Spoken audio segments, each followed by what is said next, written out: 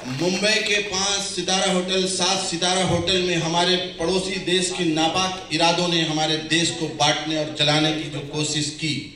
और कई दिनों तक ताज हेरिटेज होटल और उबराय ट्राइडेंट और इस तरह के मुंबई में बेगुनाहों का कत्ल पड़ोसी देश ने किया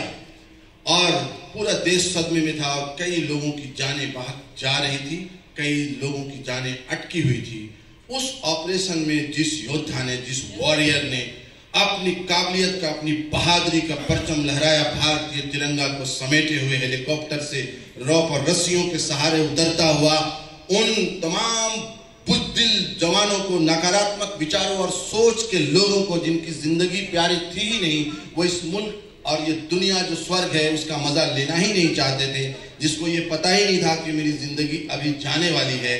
और सदैव वो नकारात्मक विचार से देश और दुनिया में देखे जाएँगे। उस नापाक इरादे वाले कसाब और उसकी पूरी टीम को,